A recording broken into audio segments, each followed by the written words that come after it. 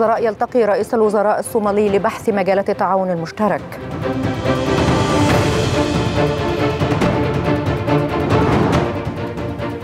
وجيش الاحتلال يواصل عدوانه على جنين وطول كرم وشهيدان برصاص إسرائيلي بالخليل.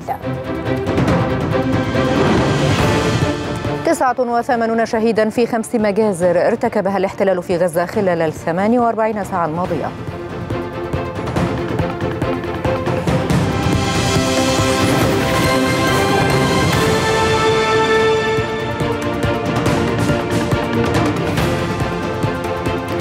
الثالثة عصرا الثانية عشرة بتوقيت جرينتش.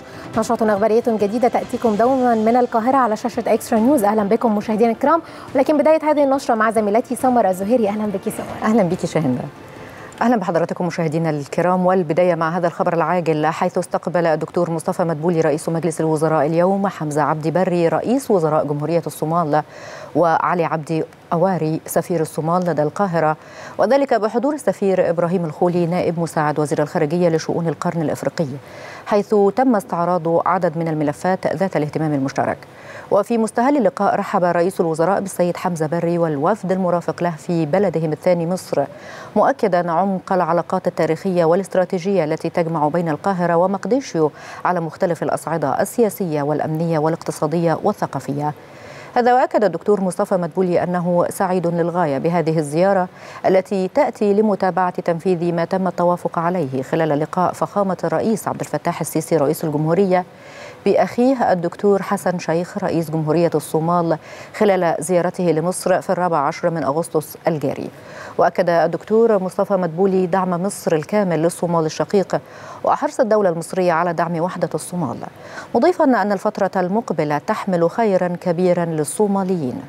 هذا وأضاف مدبولي أن تحقيق وحدة الصومال ودعم أشقائنا الصوماليين في هذه المرحلة يعد أحد أهم أولويات الدولة المصرية وهو ما ينعكس في الزيارات الرسمية رفيعة المستوى بين الجانبين على مدار الفترة الماضية. كما أكد رئيس الوزراء التزام الدولة المصرية وحرصها الكامل على تقديم الدعم اللازم للصومال الشقيق في كافة المجالات. هذا وأضاف رئيس الوزراء أن الحكومة المصرية تتحرك بقوة نحو دعم وتعزيز العلاقات الاقتصادية والتجارية والاستثمارية بين القاهرة ومقدشو مشيرا إلى حرص الجانبين على تعزيز التعاون وتسهيل تقديم التمويلات اللازمة للأعمال التجارية والاستثمارية بين البلدين في ظل الحرص على تشجيع إقامة استثمارات مصرية جديدة في الصومال. وفي هذا الصدد أعرب الدكتور مصطفى مدبولي عن تطلعه بأن يقوم رئيس وزراء الصومال برعاية منتدى أعمال في الصومال. في القريب العاجل يجمع رجال الأعمال من البلدين في المجالات المختلفة. كما تابع رئيس الوزراء أننا جاهزون لتصدير أي سلع أو بضائع يحتاجها الصومال وسنبذل كل الجهد من أجل تيسير نفاذ هذه السلع والبضائع بما يلبي احتياجات المواطن الصومالي. إلى ذلك أشاد الدكتور مصطفى مدبولي بما تم اتخاذه من خطوات لتعزيز التعاون والتقارب بين مصر والصومال مشيرا في هذا الصدد إلى تشغيل خط الطيران المباشر بين عاصمتين البلدين وافتتاح السفارة المصرية في مقدشو خلال شهر أغسطس الجاري. بدوره أعرب رئيس الوزراء الصومالي خلال اللقاء عن شكره وتقديره لحسن استقباله والوفد المرافق له في القاهرة. مؤكدا أن مصر تعد بمثابة الأخ الأكبر بالنسبة للصومال حيث يرتبط البلدان بعلاقات قوية تاريخية. كما أعرب عن تقديره للدعم الذي تقدمه الدولة المصرية للصومال في هذا الظرف الدقيق الذي يشهد محاولات بعض القوى للعمل على تقسيم الصومال. مضيفا أن القيادة السياسية والشعب الصومالي يشكر الدولة المصرية على دعمها ومساندتها لهم. كما تابع التعاون بين الصومال ومصر هو تعاون متعدد الأوجه وهذا ليس جديدا على مصر إذ أن مقدشو ترتبط مع القاهرة بعلاقات تعاون تاريخية ومصر دائما كانت في مقدمة الدول الداعمة للصومال. هذا وأشار بري إلى أن التعاون بين مصر والصومال يشمل التعاون السياسي والتجاري والاستثماري فضلا عن التعاون في ميادين الثقافة والتعليم حيث كانت مصر ولا تزال تقدم الكثير من المنح التعليمية للطلاب الصوماليين. مضيفا أنهم يفخرون بهذه العلاقات المشرفة ويسعون لتعزيزها على مختلف المستويات. هذا وتطرق رئيس الوزراء الصومالي إلى التقدم الكبير الذي تشهده العلاقات المشتركة بين مصر والصومال.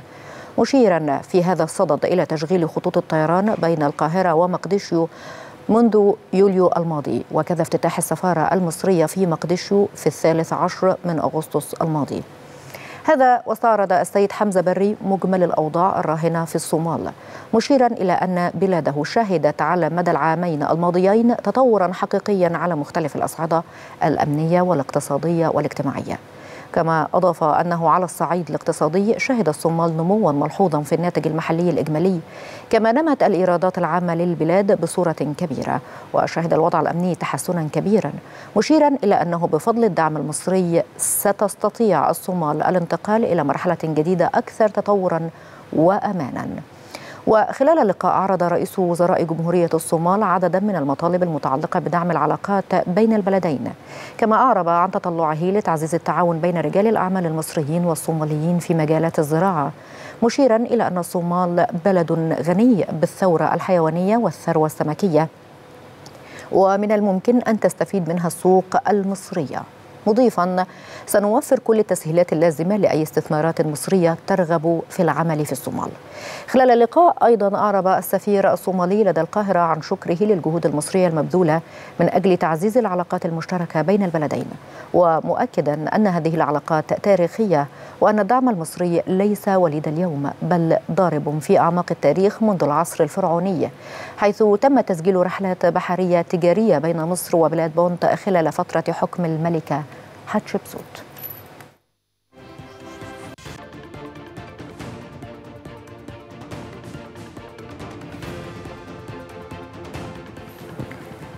أعلنت وزارة الصناعة إطلاق المرحلة الأولى من منصة مصر الصناعية الرقمية غدا الأحد وذلك في إطار توجيهات الرئيس عبد الفتاح السيسي رئيس الجمهورية بتنفيذ خطة شاملة للنهوض بقطاع الصناعة في مصر.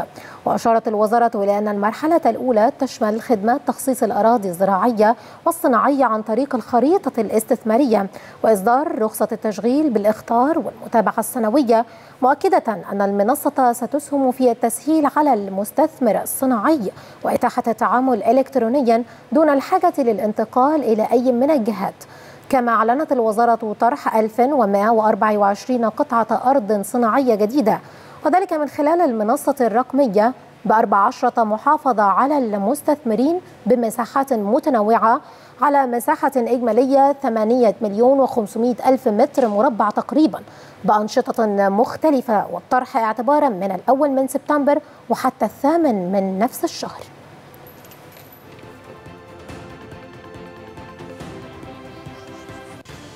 أعلن نائب رئيس مجلس الوزراء وزير الصحة والسكان الدكتور خالد عبد الغفار تقديم 47 مليون و431 ألفا و927 خدمة طبية من خلال حملة 100 يوم صحة.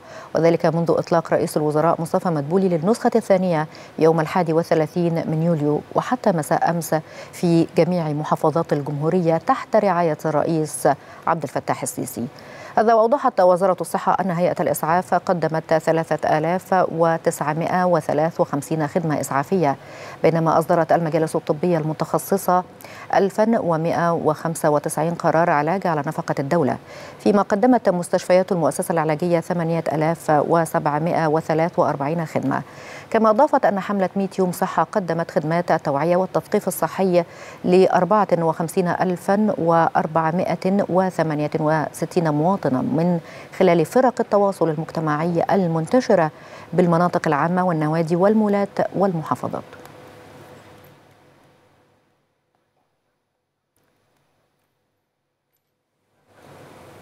اختتم الفريق أحمد خليفة رئيس أركان حرب القوات المسلحة والوفد المرافق له زيارتها الرسمية لدولة قطر حيث التقى خلال الزيارة مع الدكتور خالد بن محمد العطية نائب رئيس مجلس الوزراء ووزير الدولة لشؤون الدفاع بدولة قطر. وتناول اللقاء مناقشة عدد من الموضوعات ذات الاهتمام المشترك. أسفرت عن توافق للرؤى حول تطورات الأوضاع والتحديات التي تواجه الأمن القومي في المنطقة وأهمية تنسيق الجهود والعمل المشترك لمجابهة تلك التحديات.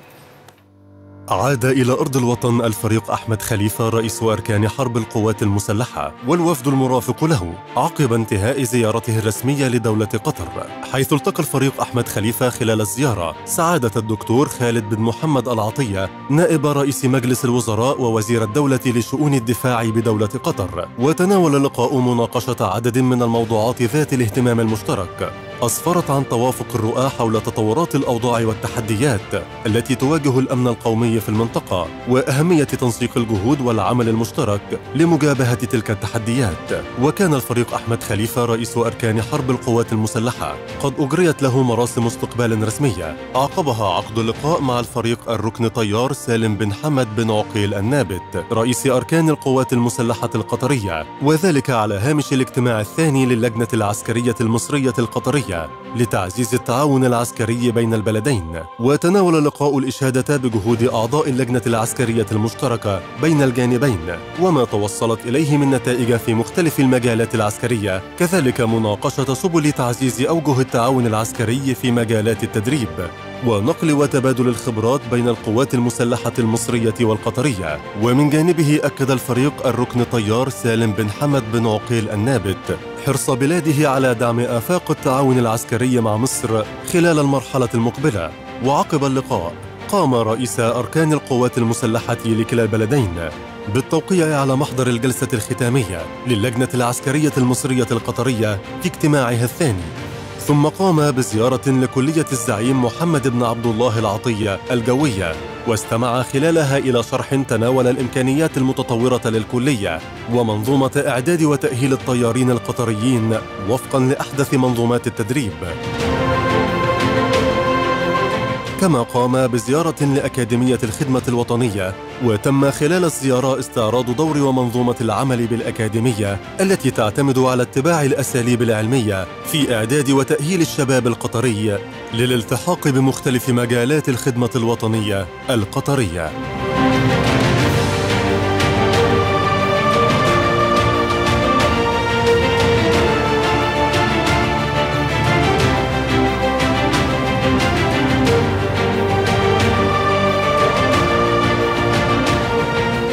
حضر اللقاءات والزيارات. عدد من قادة القوات المسلحة المصرية والقطرية. أطلقت مبادرة رئيس الجمهورية للتنمية البشرية بداية جديدة لبناء الإنسان برنامج البداية الذهبية للأسرة والطفل من سن صفر وحتى ست سنوات وذلك بالتعاون والاشتراك بين كافة جهات الدولة ووزارات الصحة والتضامن والتربية والتعليم والشباب والرياضة والثقافة. وأكدت بداية أن تنمية الطفولة المبكرة من أهم ركائز التنمية البشرية فهي المرحلة التي تبدأ من سن صفر وحتى سن سنوات ويطلق عليها المرحلة الذهبية. ويعتبر الاستثمار في هذه المرحلة أنجح مشروع استثماري في حياة الأمم حيث تمثل الست سنوات الأولى في حياة الإنسان حجر الأساس لتطوير قدراته الذهنية والجسدية والنفسية طوال العمر. يهدف المشروع إلى رفع نسبة التغطية بالحضانات المرخصة من وزارة التضامن الاجتماعي في الفئة العمرية من صفر وحتى أربع سنوات خلال ثلاث سنوات ورفع نسبة التغطية في التعليم قبل المدرسي من 30% وحتى 60% خلال ثلاث سنوات. بالإضافة إلى خفض مستويات الأنيميا والتقزم وسوء التغذية بين الأطفال بنسبة 10% كل سنة وكذلك خفض معدلات وفيات الأطفال الرضع وحديثي الولادة ودون الخامسة بنسبة 10% كل عام.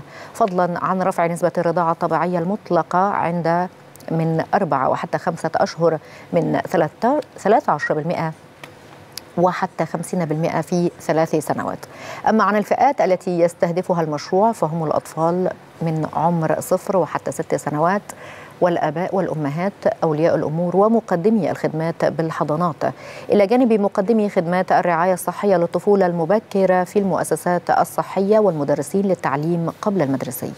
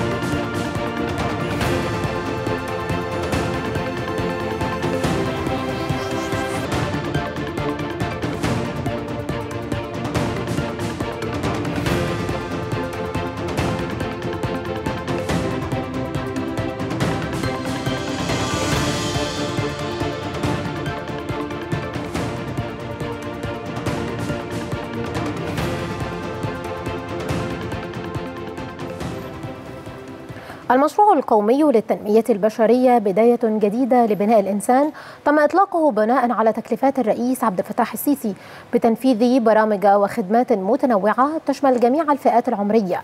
ويأتي هذا انعكاسا لرؤية القيادة السياسية نحو بناء مجتمع متقدم ومتكامل. نتابع مشاهدينا الكرام.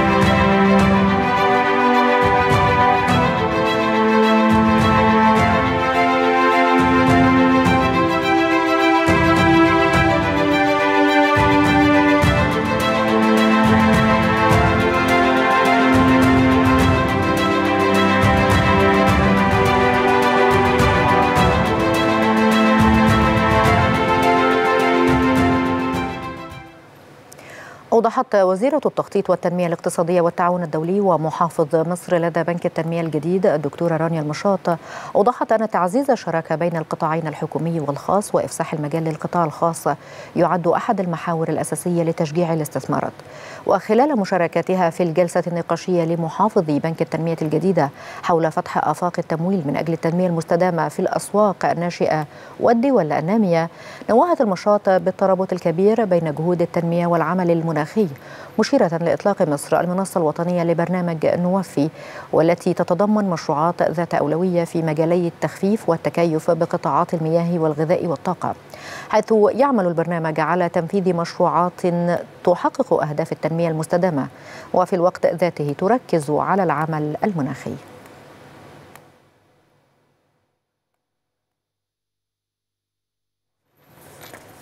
اتفقت وزارة التموين والتجارة الداخلية مع وزارة الاتصالات وتكنولوجيا المعلومات على إتاحة خدمات تحصيل مستحقات وزارة التموين عن طريق مكاتب البريد المنتشرة بكل محافظات الجمهورية سواء كانت الثابتة أو المتحركة والتي تبلغ 4650 مكتبا على مستوى الجمهورية.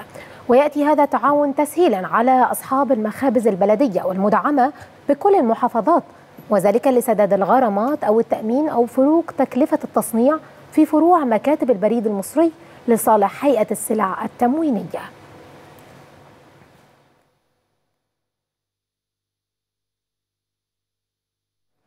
استقبل الدكتور بدر عبد العاطي وزير الخارجية والهجرة أعضاء مجلس إدارة المجلس المصري للشؤون الخارجية برئاسة السفير محمد العرابي وزير الخارجية الأسبق. وخلال اللقاء أكد وزير الخارجية اعتزازه ووزارة الخارجية بالعلاقة المتميزة الممتدة على مدار سنوات مع المجلس المصري للشؤون الخارجية الذي يعد أحد أهم مراكز الرأي والفكر في مصر. كما أشاد عبد العاطي في هذا الإطار بالخبرات العلمية والعملية لأعضاء المجلس في التخصصات المتنوعة ذات الصلة بالسياسة الخارجية. شهد اللقاء تبادلا للرؤى والتقييمات إزاء كافة القضايا الدولية والإقليمية الهامة حيث استمع أعضاء مجلس إدارة المجلس لإحاطة متكاملة من الوزير لرؤية مصر لتطورات أزمة قطاع غزة والتصعيد الإقليمي وأمن البحر الأحمر والأزمة السودانية والعلاقات المصرية الإفريقية والوضع في القرن الإفريقي بالإضافة إلى علاقات مصر مع شركائها الدوليين.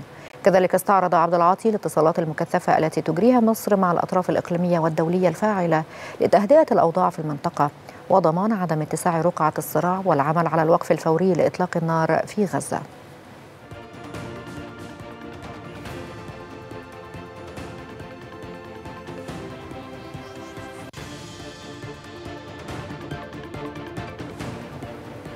عرض تقرير موازنة المواطن الأولويات الاقتصادية والتنموية والاجتماعية خلال العام المالي الحالي 2024-2025 والتي تستهدف تعزيز سياسات وبرامج ومبادرات الحماية الاجتماعية الأكثر استهدافا للمستحقين للدعم لتخفيف حدة التضخم. المزيد نتابعه في العرض التالي مع الزميلة آلاء طاهر. أهلا بكم.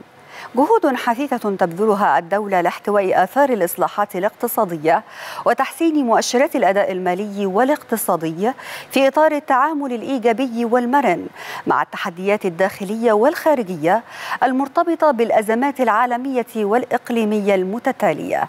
وفي هذا الصدد تستهدف الدولة تعزيز سياسات وبرامج الحماية الاجتماعية لمساعدة الفئات الأكثر استحقاقا وتخفيف حدة التضخم وضمان عدالة توزيع فرص وثمار التنمية وتطوير جودة الخدمات تنفيذا للتكليفات الرئاسية للحكومة بتلبية طموحات المواطنين في الجمهورية الجديدة. وتنفيذا لتلك الرؤية عملت الدولة على زيادة المخصصات المالية للدعم والمنح والمزايا الاجتماعية بموازنة العام المالي الحالي إلى 635.9 من عشرة مليار جنيه من بينها 154.5 من عشرة مليار جنيه لدعم المواد البترولية و134.2 من عشرة مليار للسلع التموينية و40 مليار مليارا لمعاش الضمان الاجتماعي وتكافل وكرامة. كما خصصت الدولة 18 وأربعة من عشرة مليار جنيه لدعم التأمين الصحي والأدوية والعلاج على نفقة الدولة مع استمرار مساندة المبادرات الصحية وزيادة مخصصات الأدوية والمستلزمات الطبية إلى 26 وسبعة من عشرة مليار جنيه. علما بأن هناك نحو أربعة وستة من عشرة مليون مواطن يستفيدون يستفيدون من نظام التأمين الصحي الشامل. وضمن خطة الدولة لتأهيل قرى الريف المصري وافقت الحكومة على تخصيص 150 مليار جنيه بموازنة العام المالي الحالي لتنفيذ المرحلة الثانية من المشروع القومي حياة كريمة لتحقيق التنمية الريفية المستدامة وتحسين مستوى المعيشة والارتقاء بجودة الخدمات الأساسية المقدمة للمواطنين. هذا بالإضافة إلى دعم المزارعين ب 657 مليون جنيه ودعم فائدة قروض الري الحديث بنحو 300 مليون جنيه وذلك ضمن جهود الدولة الهادفة لتعزيز التنمية الزراعية. لم تغفل الدولة كذلك القطاع الخاص إيمانا بدوره الكبير في بناء الاقتصاد المصري. ولهذا خصصت الحكومة 40 و5 من عشرة مليار جنيه لتمويل برامج تحفيز النشاط الاقتصادي خاصة مساندة القطاعات الصناعية والتصديرية على نحو يدفع حركة الاستثمارات الخاصة للنمو المستدام ويساعد في توفير المزيد من فرص العمل المنتجة للشباب. مشاهدينا الكرام كان هذا عرضا موجزا حول الإجراءات التي اتخذتها الدولة لاحتواء آثار الإصلاحات الاقتصادية. شكرا لطيب المتابعة. تعزيز سياسات وبرامج ومبادرات الحماية الاجتماعية الأكثر استهدافا للمستحقين للدعم لتخفيف حدة التضخم من أبرز الأولويات الاقتصادية والتنموية والاجتماعية خلال العام المالي 2024-2025 نتابع الأولويات الاقتصادية والتنموية والاجتماعية خلال 2024-2025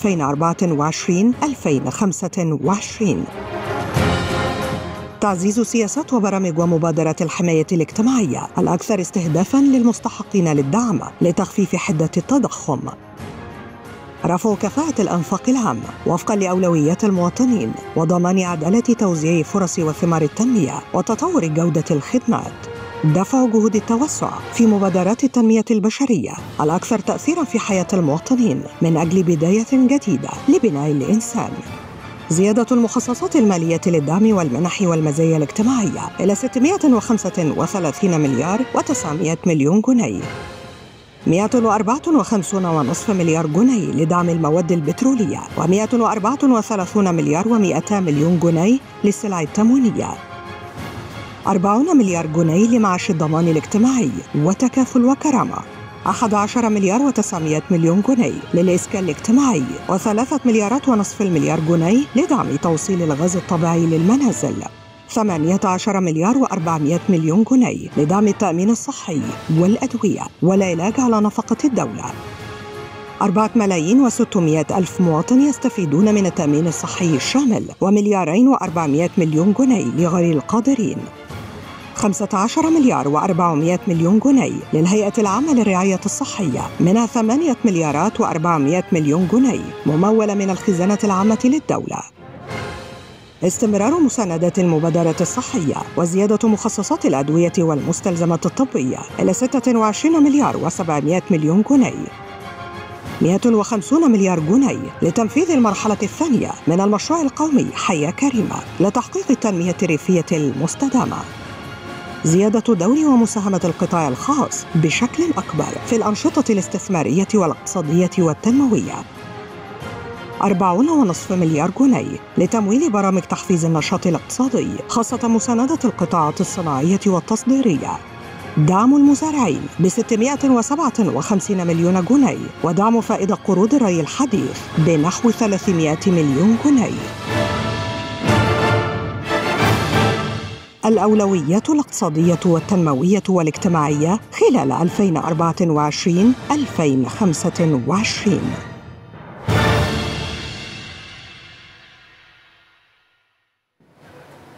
رصدت الدولة 40 مليار و500 مليون جنيه لدعم برامج تحفيز النشاط الاقتصادي خلال موازنة 2024-2025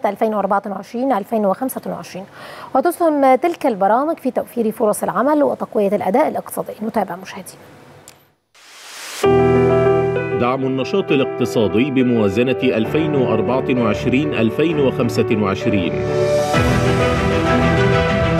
2024-2025 برامج دعم النشاط الاقتصادي تسهم في توفير فرص العمل وتقوية الأداء الاقتصادي.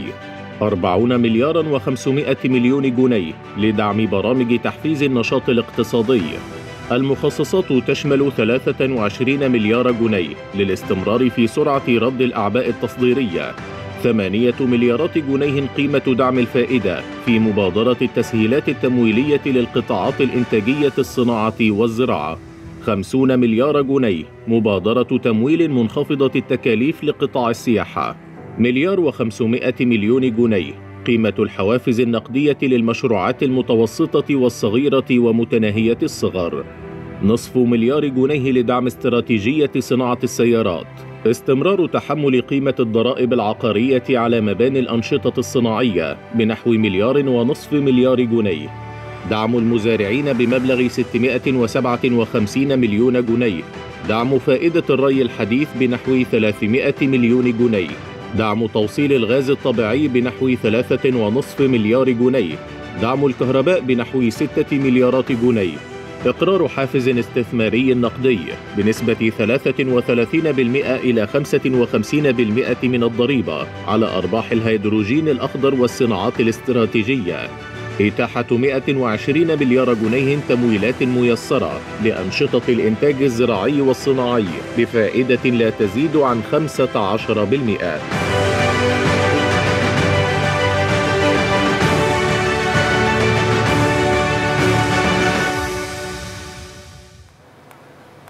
قامت الدولة بتخصيص نحو 469 مليار جنيه لقطاع الصحة و18 مليارا و400 مليون جنيه لدعم التأمين الصحي والأدوية وعلاج غير القادرين على نفقة الدولة. هذا فضلا عن تخصيص 26 مليارا و700 مليون جنيه للأدوية والمستلزمات الطبية بموازنة 2024-2025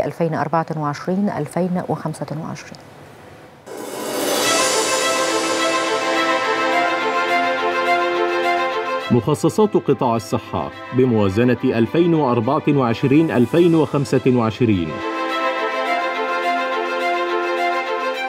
استمرار جهود التطوير الشامل لقطاع الصحة لتحقيق حياة كريمة لكل المواطنين. تخصيص نحو 469 مليار جنيه لقطاع الصحة تخصيص 18 مليارا و400 مليون جنيه لدعم التأمين الصحي والأدوية وعلاج غير القادرين على نفقة الدولة. تخصيص 15 مليارا و400 مليون جنيه للهيئة العامة للرعاية الصحية. تخصيص 26 مليارا و700 مليون جنيه للأدوية والمستلزمات الطبية. تخصيص 10 مليارات جنيه لعلاج المواطنين على نفقة الدولة. تخصيص نحو 15 مليار جنيه زيادات إضافية للأطباء والتمريض والمعلمين وأعضاء هيئة التدريس بالجامعات. الانتهاء من تنفيذ 58 مستشفى 52 مستشفى صحيا وست مستشفيات جامعية. استكمال تطوير وتجهيز المراكز والوحدات الطبية. إقامة 246 مشروعا بالمستشفيات الجامعية. استكمال تطوير وتجهيز 55 مستشفى تتبع أمانة المراكز الطبية المتخصصة. مخصصات قطاع الصحة بموازنة 2024-2025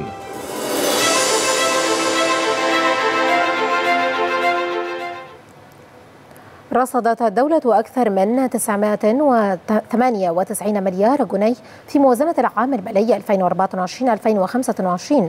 وذلك لدعم التعليم العالي وقبل الجامعي والبحث العلمي. المزيد نتابعه في العرض التالي. مخصصات التعليم في موازنة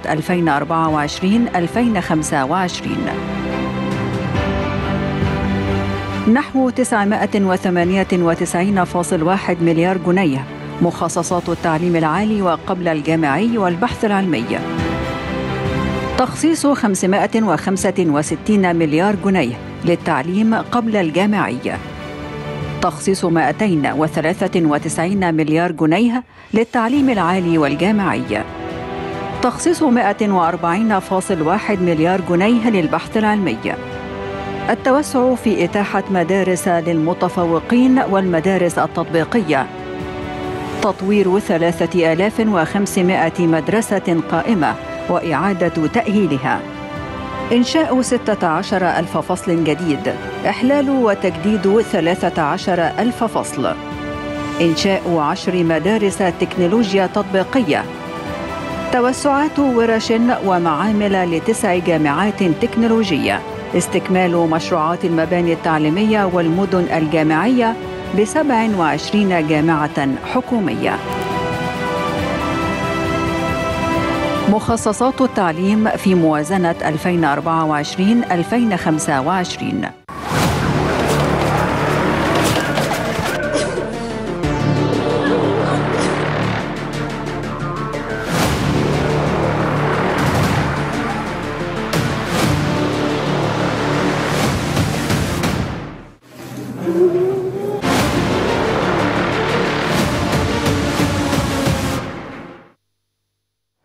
واصلت قوات الاحتلال الإسرائيلي عدوانها على جنين ومخيمها بالضفة الغربية المحتلة لليوم الرابع على التوالي حيث خلف الاحتلال عددا من الإصابات والاعتقالات والإخلاء القسري للعائلات بالإضافة إلى تدمير الواسع في البنية التحتية. يأتي ذلك فيما قال الهلال الأحمر الفلسطيني إن طواقمه تجد صعوبة في الوصول إلى إصابات داخل بعض المناطق في مخيم جنين بسبب منع الاحتلال الاقتراب من المكان.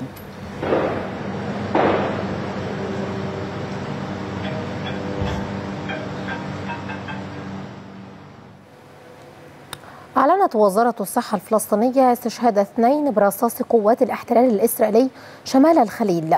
وأفادت الوزارة أن الشابين استشهدا قرب مستعمرتي قرمي تسور وعطسيون شمال الخليل.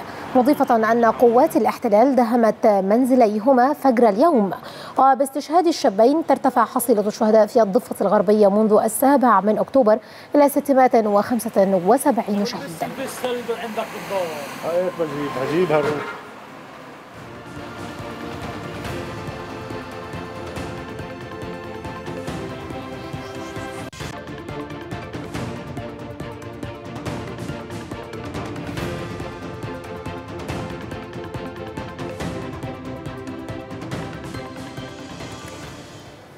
اقتحمت قوات الاحتلال الإسرائيلي مدينة طول كرم ومخيم نور شمس شرقا. وذكرت وكالة الأنباء الفلسطينية أن آليات عسكرية إسرائيلية اقتحمت عدة شوارع وأحياء لتواصل طريقها إلى مخيم نور شمس وتمركزت في حي النصر بالمخيم.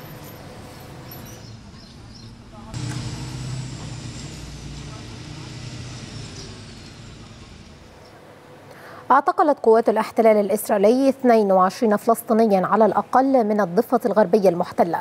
بينهم صحفي وامرأة وبالإضافة إلى أطفال وأسرى سابقين. هذا وضحت هيئة شؤون الأسرى والمحررين ونادي الأسير الفلسطيني أن عدد المعتقلين منذ بدء العملية العسكرية للاحتلال في شمال الضفة منذ أيام ارتفع إلى نحو 70 معتقلاً.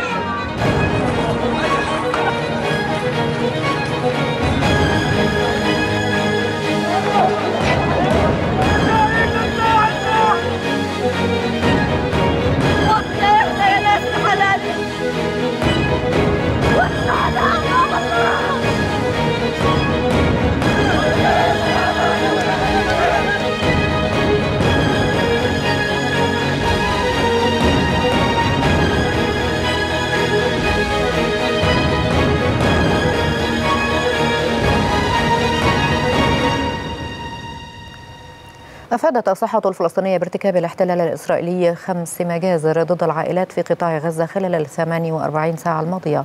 وصل منها للمستشفيات 89 شهيدا و205 من المصابين.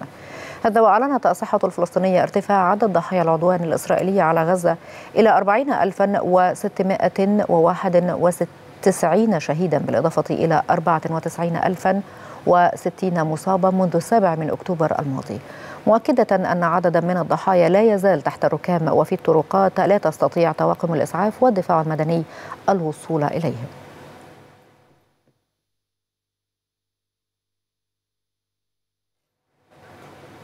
استشهد وأصيب عشرات الفلسطينيين في قصف للاحتلال الإسرائيلي استهدف عدة مناطق في قطاع غزة في اليوم الثلاث وثلاثين للعدوان.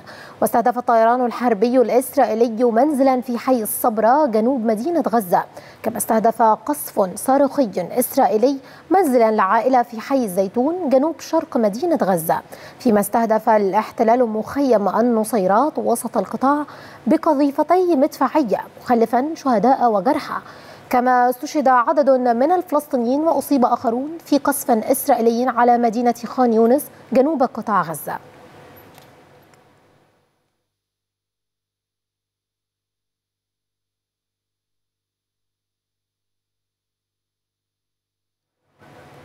أعربت وزارة الصحة الفلسطينية عن طموحها لتطعيم 90% على الأقل من أطفال غزة.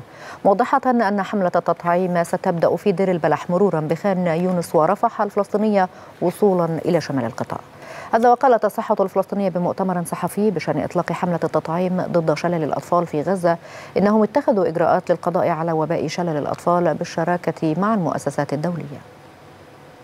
الوزارة لم لم تدخر جهدا في اتخاذ كل الإجراءات السريعة والميدانية والعملية للقضاء على هذا الوباء وبالتالي تم تشكيل اللجان المناسبة للتعامل مع هذا الوباء بالشراكة مع المؤسسات الدولية الشريكة في هذا الميدان.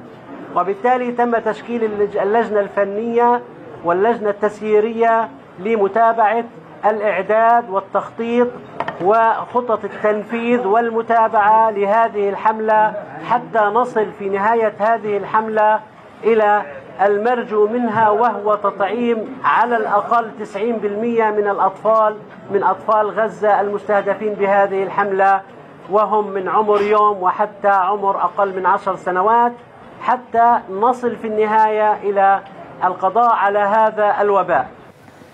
قالت صحيفة واشنطن بوست الأمريكية إن مسألة تعرض المنظمات الإنسانية التي تقدم المساعدات الإنسانية لقطاع غزة للهجوم بشكل متكرر ومستمر يثير مخاوف بشأن النظام المستخدم لتنسيق الطرق ونهج الجيش الإسرائيلي في التعامل مع الصراع مشيرة لإطلاق جيش الاحتلال صاروخا على سيارة لقافلة مساعدات لنقل الإمدادات الطبية والوقود إلى مستشفى في مدينة رفح الفلسطينية رغم أن مسارها كان منسقا مع قوات الاحتلال ما أسفر عن مقتل أربعة فلسطينيين.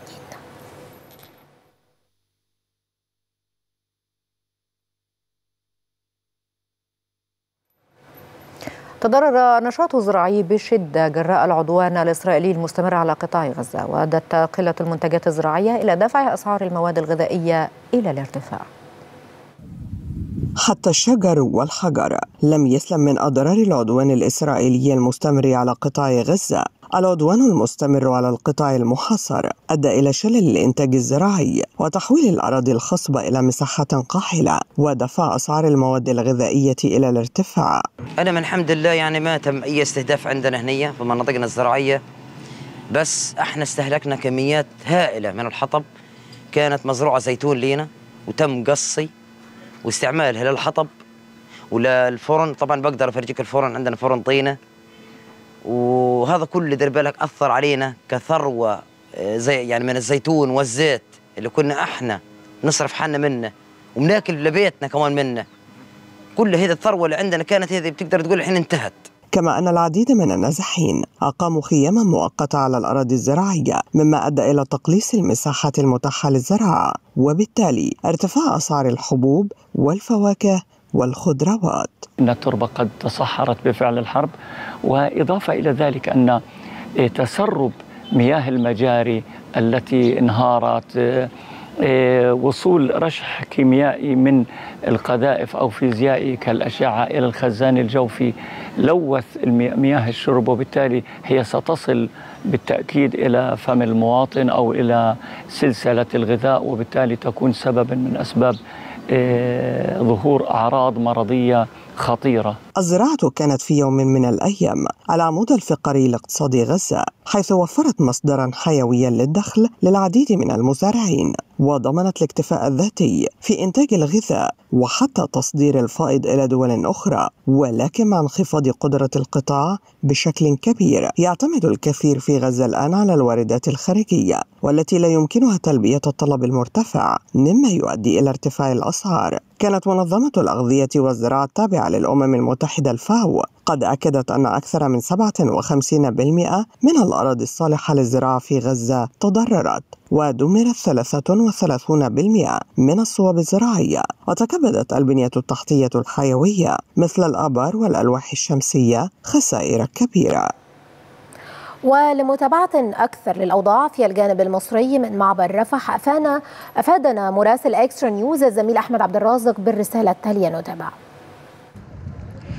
مرحبا بكم. من أمام معبر رفح البري الحدودي الواقع بين مصر وقطاع غزة نرصد آخر تطورات الأحداث وحركة تدفق المساعدات الإنسانية إلى داخل القطاع. اليوم السبت هو عطلة رسمية في دولاب العمل الإسرائيلي لذلك لم تدخل من البوابة الجانبية لمعبر رفح باتجاه معبر كرم أبو سالم أي شاحنة مساعدات أو شاحنات وقود. وخلال الأسبوع الماضي أو الأيام الثامن الثمانية الماضية لم تدخل عبر هذه البوابة إلا 100 125 شاحنة مساعدات و26 شاحنة وقود فقط. هذا إجمالي ما دخل خلال أسبوع أو ثمانية أيام. وأصبحت هذه وتيرة العمل على معبر كرم أبو سالم. لا يفتح المعبر أمام المسا... شاحنات المساعدات الإنسانية إلا يومين إلى ثلاثة أيام بحد أقصى في الأسبوع. ولا تنفذ في اليوم الواحد إلا ما بين 15 إلى 50 شاحنة بحد أقصى. آه يختلف اختلفت وتيرة العمل منذ أن انتقل العمل إليه بعد السابع من مايو الماضي. وهكذا هذا هو الكم الذي أصبح يدخل عبر هذه البوابة. وهو نوع من تضييق الحصار واستخدام الجوع كسلاح نافذ في يستخدمه قوات الاحتلال الإسرائيلي في حق الفلسطينيين المحاصرين داخل القطاع. تحدثنا خلال الأسبوع الماضي عن شلل الأطفال وعن تطعيم شلل الأطفال وعن الأطفال المستحقين لهذه الطعوم اليوم. عقد مؤتمرا صحفيا عقده المكتب الإعلامي لوزارة الصحة الفلسطينية بمشاركة بمشاركة منظمة الطفولة للأمم المتحدة يونيسيف ومنظمة الصحة العالمية من أجل تحديد النقاط التي سوف يتم توزيع هذه الطعوم عليها.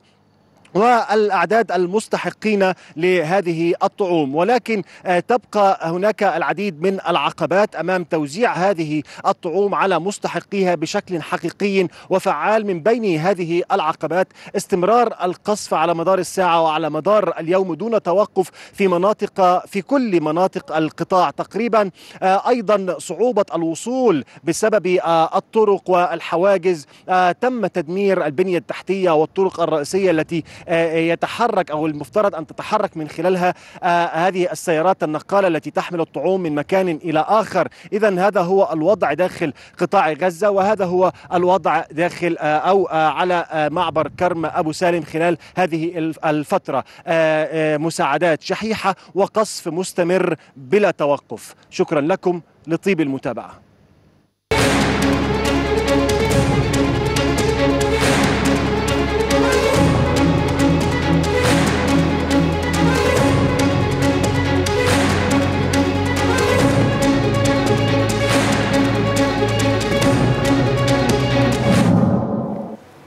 قالت وزارة الدفاع الروسية إن قواتها سيطرت على بلدة كيروفا في منطقة دونيتسك بشرق أوكرانيا. هذا وتحقق روسيا مكاسب تدريجية في دونيتسك في وقت تسعى القوات الأوكرانية إلى التقدم في منطقة كورسك الروسية بعد اجتياح مباغت عبر الحدود في السادس من أغسطس الجاري.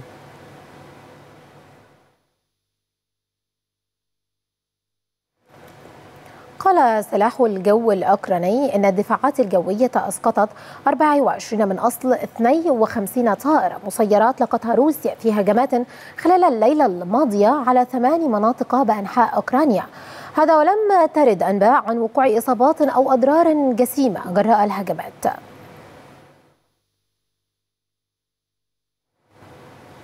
قالت وزارة الدفاع اليابانية إن سفينة مسح تابعة للبحرية الصينية دخلت المياه الإقليمية اليابانية لفترة وجيزة.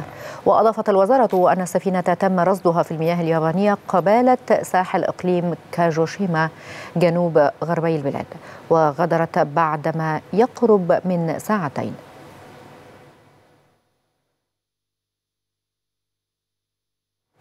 تبادلت الصين والفلبين الاتهامات بصدم سفنهما في منطقة متنازع عليها في بحر الصين الجنوبي. وذلك في أحدث حلقة من سلسلة متصاعدة من الاشتباكات في الممر المائي الحيوي. قال خفر السواحل الصيني أن سفينة فلبينية كانت عالقة بشكل غير قانوني في جزيرة سابينا رفعت مرساها وصدمت عمدا. سفينة صينية. بينما أوضح خفر السواحل الفلبيني أن السفينة الصينية هي من صدمت عمدا إحدى السفن التابعة له.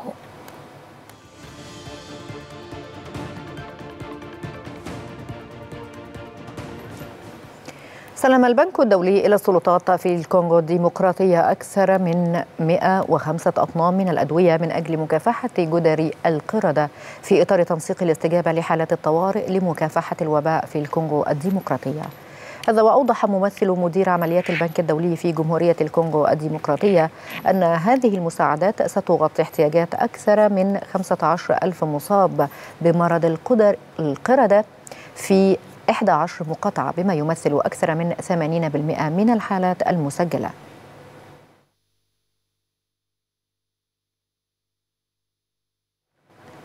ومع انتشار استخدام الأطفال للإنترنت أصبح من الضروري تحديد أوقات استخدامهم له خاصة لضمان أنهم يستفيدون من المنصات الإلكترونية بشكل آمن ومناسب لأعمارهم. وفيما يلي نعرض على حضرات خطوات عملية ونصائح لتحديد وقت استخدام الأطفال للإنترنت. نتابع.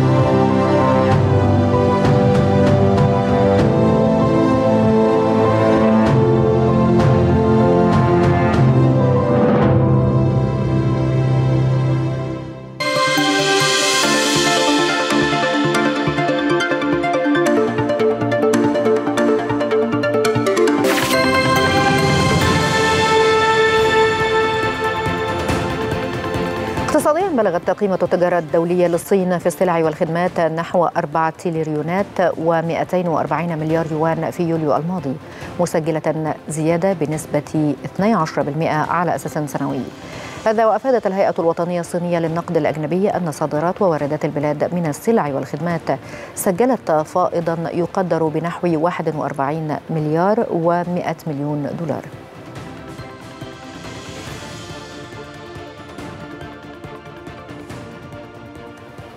هبطت أسعار النفط على أساس أسبوعي وسط توقعات بزيادة الإمدادات في أكتوبر المقبل. وخفض سعر الفائدة بمعدل كبير في الولايات المتحدة الشهر المقبل. وهبطت العقود الآجلة لخام برنت ثلاثة بالمئة على أساس أسبوعي واثنين فاصل أربعة بالمئة على أساس شهري. كما تراجعت العقود الآجلة لخام غرب تكساس الأمريكي إلى 1.7% على أساس أسبوعي و3.6% في أغسطس الجاري.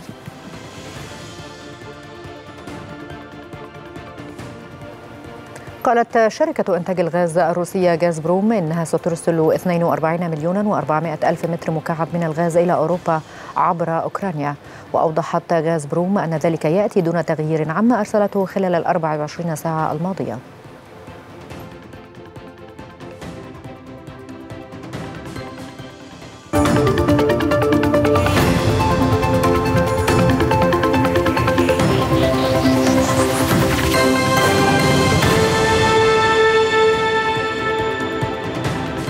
ورياضيا توج فريق بيراميدز بلقب كأس مصر للمرة الأولى في تاريخه عقب فوزه على زد بهدف دون رد في المباراة التي جمعتهما على استاد برج العرب بالإسكندرية.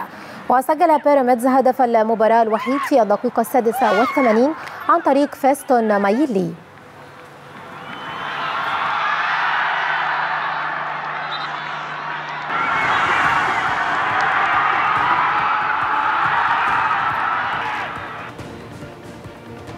يلتقي فريق برشلونة مع نظيره بلد الوليد اليوم في تمام السادسة مساء على ملعب لويس كومبيانس كومبانيس الأولمبي في إطار الجولة الرابعة من الدوري الإسباني لكرة القدم موسم 2024-2025 يسعى النادي الكتالوني إلى مواصلة عروضه القوية في انطلاقة هذا الموسم حيث تفوق الفريق الكتالوني في أول ثلاث مباريات وحقق العلامة الكاملة تسع نقاط تحت قيادة المدرب الألماني هانس فليك.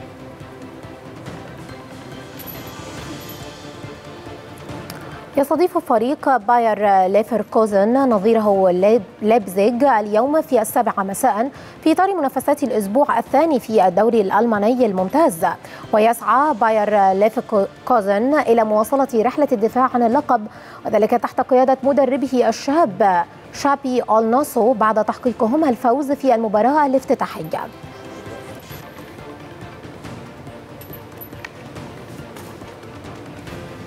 تعاقد نادي تشيلسي مع الجناح الإنجليزي جادن سانشو من مانشستر يونايتد على سبيل الإعارة لمدة موسم واحد. انضم سانشو إلى يونايتد في عام 2021 من بوروسيا دورتموند بعقد مدته خمس سنوات لكنه دخل في خلاف علني مع المدير إريك تين هاغ العام الماضي ما أدى إلى عودته إلى دورتموند على سبيل الإعارة في يناير 2024 حتى نهاية الموسم.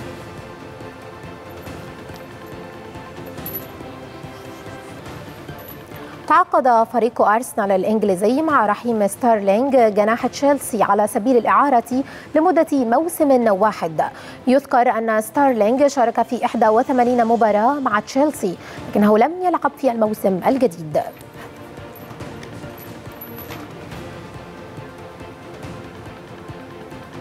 خرج الصربي نوفاك ديوكوفيتش حامل اللقب من الدور الثالث في بطولة أمريكا المفتوحة للتنس بعد خسارته أمام الأسترالي أليكسي بوبيرين.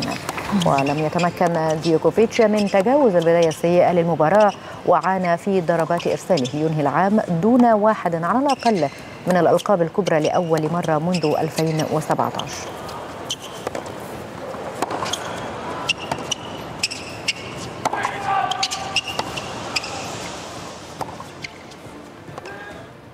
وصلنا إلى ختام هذه الساعة الإخبارية وهذه النشرة. وليكم الآن تذكرة بأهم ما جاء فيها من عناوين. نتابع.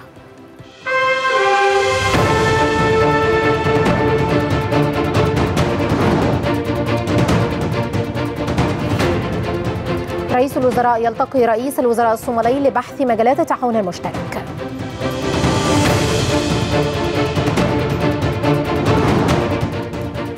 جيش الاحتلال يواصل عدوانه على جنين وطول كرم وشهدان برصاص إسرائيلي بالخليل.